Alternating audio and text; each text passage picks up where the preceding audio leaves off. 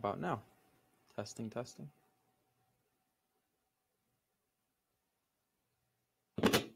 Oh, right. There we go. Okay. So I, uh, you might notice that this is uh, written down as uh, podcast number two. I actually started one a couple days ago, but I didn't really get too far into it. Now, I think I find uh, that if I'm too scripted, it actually ends up being a little more boring. And I'm already pretty boring, so I don't want to compound my boredom. Okay, um, a few things happened, have been happening. Uh, Book Zero is at the proofreaders. Book Zero is um, the newest uh, installment for the Arclight Saga. It's going to be coming out this October, so uh, within the next two weeks, possibly three weeks, probably closer to two though. Um, it's not especially that long. When I say not long, I mean it's like forty thousand words. Um, it started out. It is a standalone book, so it's not technically the same storyline, but um, it has characters that are going to be in book three. So I strongly suggest you read it, and um, it's available for pre-order right now. It's called Why Dragons Hide. Um, you can pre-order it now if you're forgetful.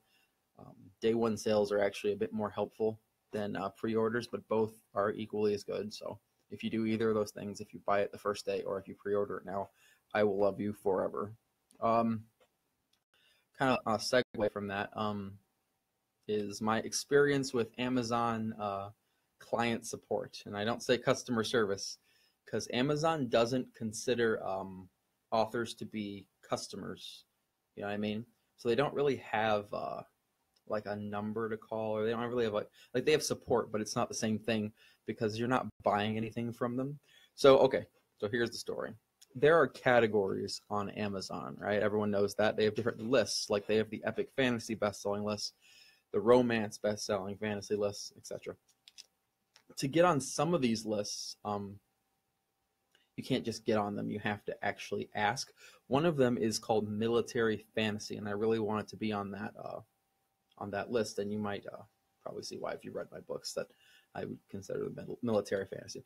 Um, but you can't just get on there. Like there's other categories where you can just change in your book data. You can change it and say, oh, this is now romance. This is now epic fantasy. You can't do that for military fantasy. It's really hard to get on the list.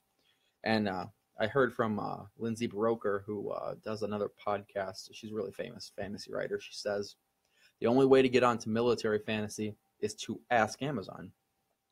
So I shoot an email to Amazon, uh, and I get a response back, and they say, "Sorry, we can't add books to this category. Can't be done. It's impossible. The books, this data is set, and it can't be changed."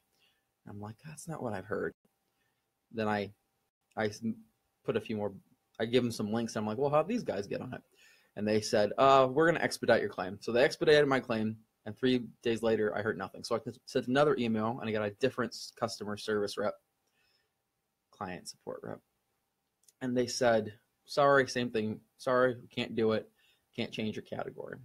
And then a third time, um, the stars aligned somehow. And it gave me the option of contacting the people by phone.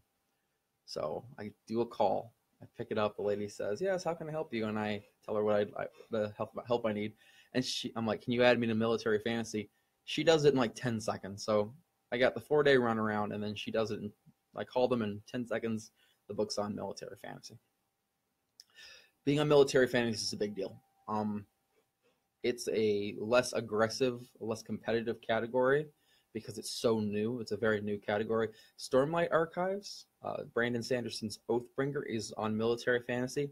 In fact, he, him and uh, Jim Butcher uh, they're some of the big fantasy authors on that, and obviously they're dominating the top spots. But it's an easier uh, thing for me to get number one on. Um, I my plan is I don't know if this is going to happen. Is for Book Zero to be number one. If it can be, I think it's possible. And if it's going to happen, it's going to happen on military fantasy. So I'm putting all my eggs in this basket and trying to see if this I can push the, the ranks up. So if you do uh, buy it, buy it on day one. It helps me tremendously. And if you uh, want to pre-order it, pre-ordering helps me as well. Okay, so that's my Amazon story. I think I will mention some publishing tips. And I'm actually going to talk about self publishing since that's what I do. I did get, uh, some of you will remember this, I got an offer from a publishing house several months ago. And I, I mentioned it on Facebook uh, that I might be going with them. I'm officially not going with them. Uh, there are several reasons I'm not going with this particular one. I'm not saying I'll never go with the publishing house, but this particular one just it couldn't do enough for me. They even wanted to keep my current covers. They're like, "Oh, you can keep those covers. They look nice." I'm like, "Well, you're not giving me new covers. You know, you only have a few. You don't really have any crazy hits. They have a few, you know, good sellers, but most of their stuff's low list. It doesn't seem like they could really do anything that I can't do now. If that makes any sense. Like if they were Harper Collins or Tor or something, I'd be like, oh well, yeah, I'll do it. But right now, it, they just don't seem like they're uh, they'd be the best for me. I'd rather keep doing what I'm doing because I think it's going very well. Um, but as for self-publishing, okay. So if you're going to self-publish, you uh, want to do it on Amazon KDP. Uh, KDP is Kindle Direct Publishing, and it really should be the only one you do it on. Um, the reason is if you do um, self-publish under Amazon, they'll give you an option to enroll in KDP Select.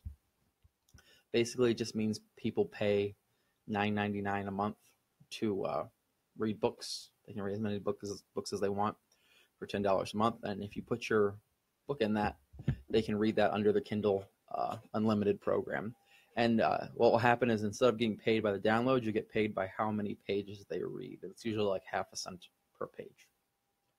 So if you do, but if you do that, you can't put your book on Barnes and Nobles or Kobo or anything else. So if you self-publish, do it on KDP Select. Find a good category, like I was just mentioning, military fantasy. Find a good category, one that works, one that's not super competitive.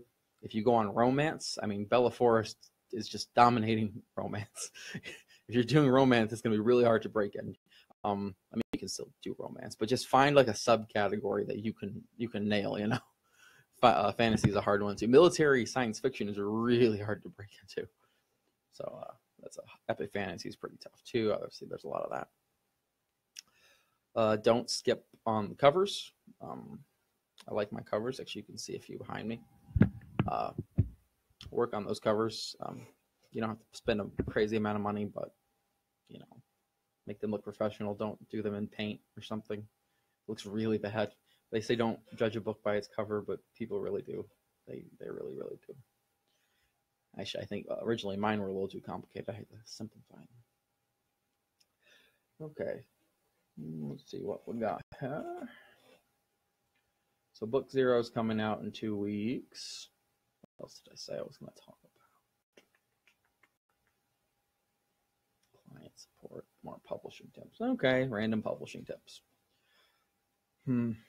Uh, people say like do a lot of social media. I kind of agree, but I don't think you should do everything. Focus on like two things. I typically focus on Facebook and Twitter, and even Twitter I don't really focus on. I only do that. You're not going to get any readers off of Twitter. You get them off of Facebook. And one thing you can do, and a lot of people don't know this, but you can only do this if you create like a separate page. Like you can't do it if it's a personal page, but like I, my page is a, is like an organization page for CM Hayden. Is if you comment somewhere else, um, if people like your comment, if you click their like, it'll give you the option to invite them to like your page. And this will only work maybe one out of every 10 times. But I mean, if you get a, a post and 100 people like it, that's 10 more followers you get. I'll a large amount of those people are just going to drop off. They're not going to buy your book, but some of them will just because, you know, oh, they're there. I'll buy their book. Um, it's a really powerful tool, and I don't think many authors know about it. Um, people hear about like doing social media, but not many people think about like, oh, I can get followers by commenting on unrelated things or like tangentially related things. Like uh, sometimes I'll comment on like Game of Thrones stuff or Name of the Wind stuff, and if you make a witty comment or something, people will like it. Then you just click that, and it'll open up a little screen. It'll say invite, invite, invite, invite. That's how you can get a lot of uh, a lot of followers without actually investing much money. Uh, your first book is probably probably going to be the one that Amazon promotes the most. when I say your first book, I don't mean the first one in your series. What I mean is the first one you upload onto Amazon. I don't know how their algorithm works, but for some reason, the first one you upload will always have more visibility than the later ones. I think what it's trying to do is like see how well you sell. So if you're gonna publish, that first one is gonna be your best chance at breaking in. I don't know if this is 100% true. This is just this is just my experience. So, oh, avoid pre-orders. If you're a new author, do not do pre-orders. It's not a scam, but it's not something that's going to help you. Pre-orders are really helpful with like traditionally published authors because it helps them get on like the New York Times bestseller list or like the Washington Post best, you know, USA Today, those kinds of things. But in those cases, they count pre-orders as day one sales. Amazon lists, which are the only ones you're going to worry about uh, at the beginning, do not count pre-orders as day one sales. They count them as sales when the person pre-orders them. The only thing they really help you get on is the hot new release, the hot new release list, which is very important. But you're gonna probably be on the hot new release list anyway. It's I would say avoid pre-orders until you have an established fan base. Like for example, I got like 1,100 followers on Facebook. If I asked people to, I asked people to pre-order, and I got, you know, a couple hundred pre-orders, which is good. Um, so I'll need, you know, day one sales though to back that up because I'm pretty sure I'll have both. Avoid pre-ordering on Amazon. Um, so stay on Amazon. That's my uh, tip. Good covers, editing. Yes, uh, do not skimp on editing, um, and make sure other people read your book. Do not upload your book without um, at least a couple people reading it, and more importantly, people you don't know. Like, here's the thing: your friends love you, your family loves you. They're not going to tell you that your book sucks. They're not going to. Um, but people on the internet are assholes. They will tell you. It makes it might be it might sound terrible, but you need to put your book in front of other people who have no social oblig- obligation to lie to you.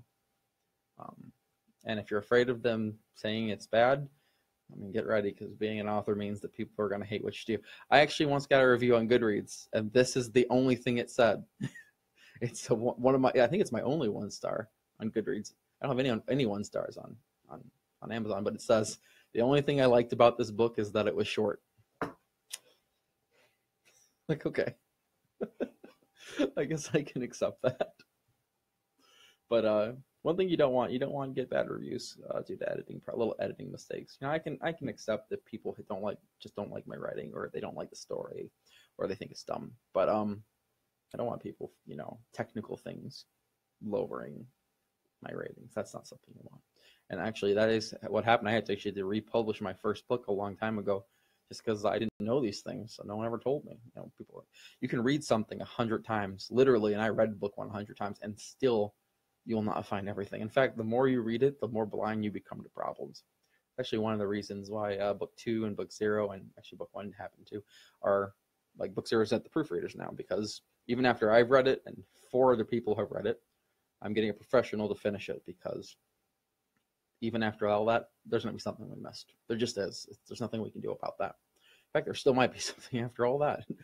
I mean, I I've been finding uh, I found mistakes in Name of the Wind and uh and Mistborn. I found like spelling mistakes or like grammatical, not grammatical. There's some grammatical things, or like in Mistborn, there's a, a big mistake that I'm surprised no one found. I'm sure they fixed it recently, but at the end when uh, spoiler alert, when Vin confronts the Lord Ruler, and they're uh, they actually attribute dialogue to the wrong person, and it's really jarring. Like when you see it, you're like, oh, that's not it's not supposed to be him saying that.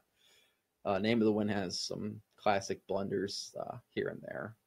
Even Lord of the Rings has some. Um, so I mean, it's going to happen, but you don't want it to be super distracting to the story. Uh, other. Hi, Austin. Thank you for the like. All right, other tips, other tips and tricks. Oh yes, um, for ebooks, you can link things, and you should. Uh, you can put your website there. If you open one of my books, it says arclightsaga.com. You can click the link. It'll take you to my website. Make sure your website looks reasonably professional. If you don't have any website experience, I strongly recommend you just getting a blog, like a blog spot or a Wix, something like that.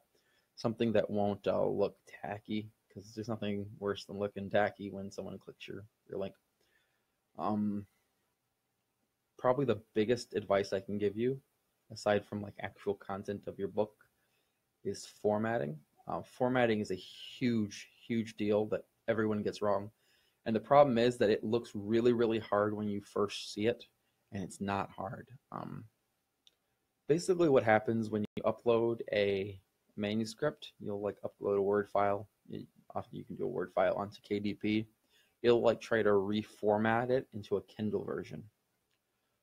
What happens is that it's not a perfect system, and it there's certain ways you need to uh, you need to line up your uh, your file to upload correctly into a Kindle format. Hi, Mary Beth. Um, you'll need to play with it a little bit. You'll have to add page breaks and you'll need to do your research. But it's vitally important that when you when people open your their your book in Kindle or on their e-reader that it's formatted correctly. If it's not, people will notice. How's it going, Mary Beth? What are you doing here? What was I talking about? Oh yes, formatting. Super important. I love you too. um, super important. People, a lot of people don't do it.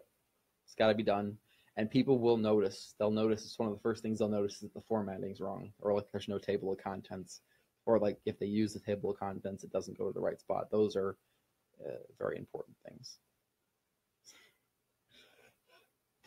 I see. Yep, I'm just streaming. I do that sometimes. What else was I gonna say? Okay, the movie. I'm gonna do a segue. We're gonna talk about the movie It. Did you see It, Mary Beth?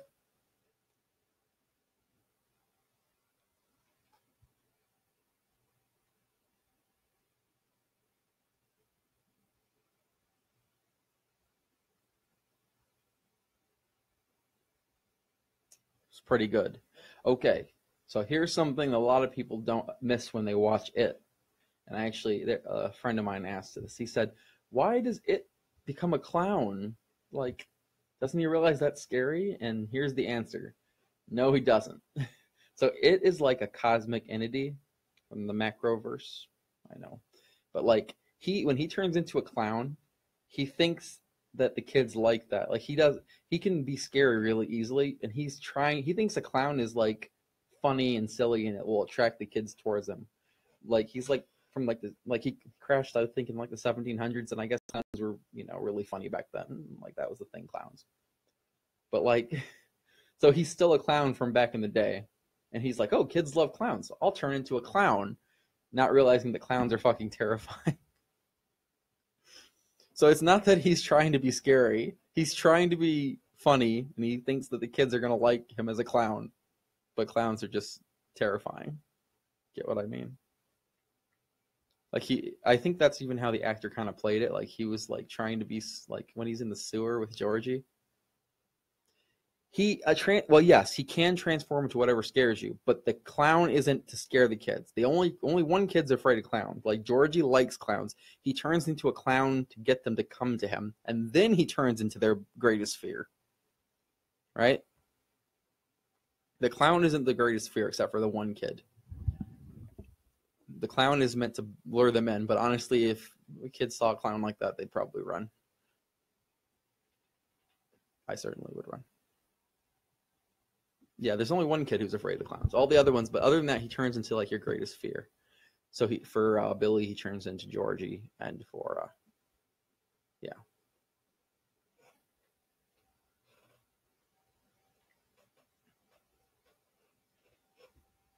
Mm-hmm.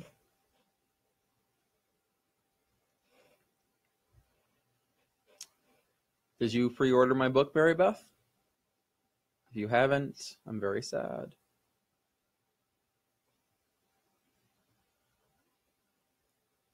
It's super important. I need to get on that hot new release list. It's going to be coming out uh, in two weeks. Pretty excited about that.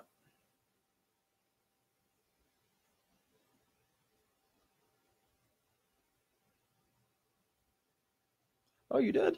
When'd you do that? It's gonna be done soon. It's actually at the proofreaders now. Oh, did I? I show you this? I think I showed you this. It's my medal. Huh? Fancy? Pretty fancy. I also got these little stickers. I just stick them to the book. And they got like, blah, like, they're like embossed. Your phone is dying? All right. Take care, Mary Beth.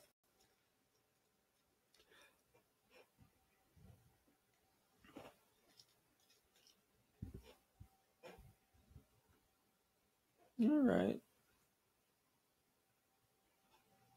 All right, other publishing tips. I think of some besides heavy editing and making sure other people see your work. Uh,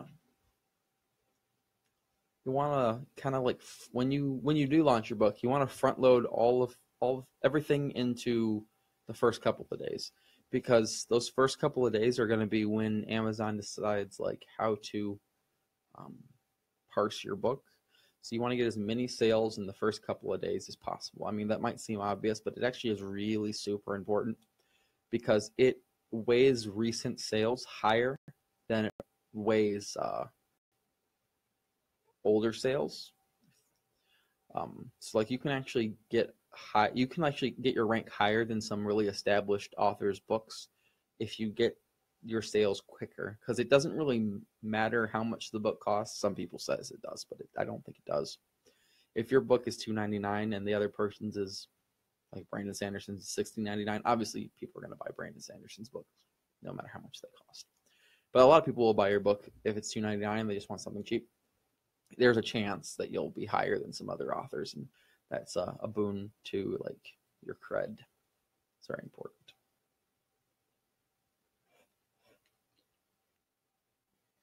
On like on a little tangent since I love rambling, uh, and because we talked about it on the last podcast. Actually, I think uh, someone asked me this specifically, and that's um that uh, Patrick Rothfuss, his dad is dying, and like when I say dying, he I mean he's dying uh like probably within the next few days if he's not already passed away.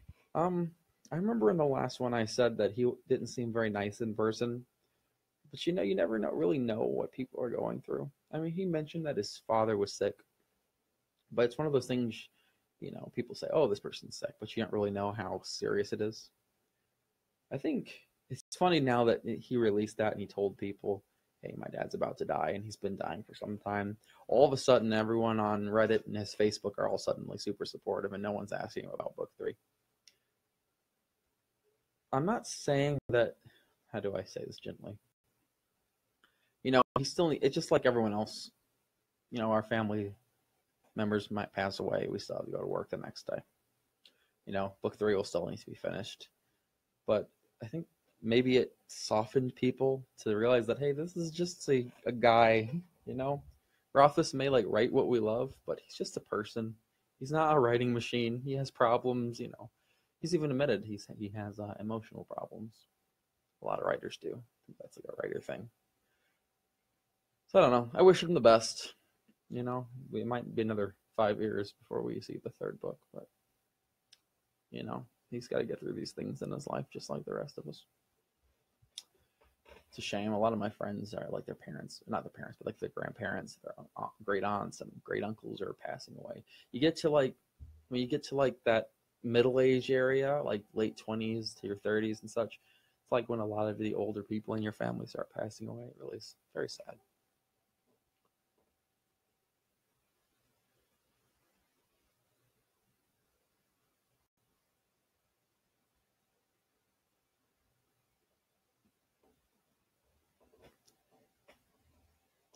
So I will be having a uh, a booth at Monroe Comic, sorry, Monroe Motor City Comic Con this uh, this coming year. I actually have to register it on January in January, so I'll talk a bit more about that when it gets closer. But I want to have like a bunch of artwork, book giving away a bunch of books, doing a signing, maybe meeting some fans. That'd be a lot of fun. I went this this year, 2017, but I really didn't uh, have a booth or anything. I just kind of went and meandered about. I really want to do like a booth where I can actually meet people and talk to them.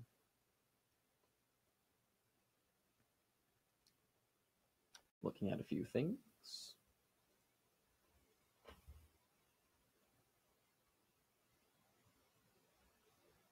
I know my random rambling might not be as coherent, you know, as some other streamers, but I don't know. I don't really like writing things.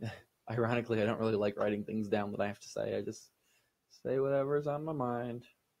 Don't worry, you don't have to listen to all these. All right, so those who have not pre-ordered Book Zero, I'm going to read the uh, the blurb. I'm not going to read it in any fancy way, but okay. it says uh, this is for Book Zero, which you should pre-order right now if you haven't already. It says to rise through the ranks of the Magisterium, magic-wielding students are pitted pitted against each other in vicious survival matches. That does happen. I actually tried to make that sound a little more impressive than it actually is. 16-year-old Kyra dreams of making it to the top but on her final trial, she's teamed up with a mysterious student who isn't what he appears to be. Amidst the chaos and bloodshed, they must find a way to survive while preventing a great evil from finding its way back into the world. Why Dragon's Hide is a must read for fans of the Arclight saga and a good entry point for new readers. And it is. Um, that's kind of how I designed it. So it is its own story. It's separate. Taro is not in it, but um, it is still in the same universe. The Magisterium is there, and there are some characters that will appear in both. Kyra is in this book. In fact, she is the main character, and it's told in a first-person point of view rather than a third-person point of view. Um, for people who don't know what that means, the third-person point of view would be like me telling a story about someone, which is what my other books are written in, and first person is uh, told uh, like saying, "I did this, I did that," like kind of like Hunger Games. So it's a bit different, but I think it's probably the best thing I've ever written. I'm really excited for people to read it, and uh, I think it's it's how do I explain this? Like I said, it's another entry point into the series. So if you've never read any of my books, or if your friends have never read any of my books, you can start on book zero, or you can start in book one.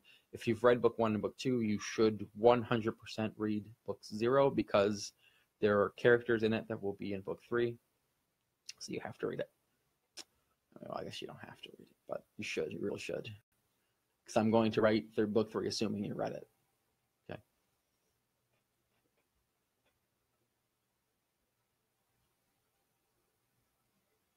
Okay, we're coming up on the 30 minute mark, so I'm going to bow out for now.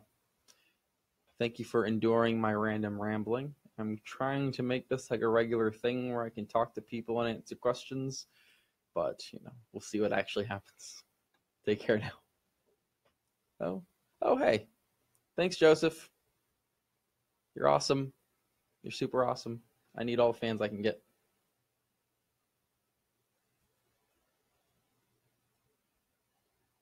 See, now see people are talking, so now I feel like I have to stick around.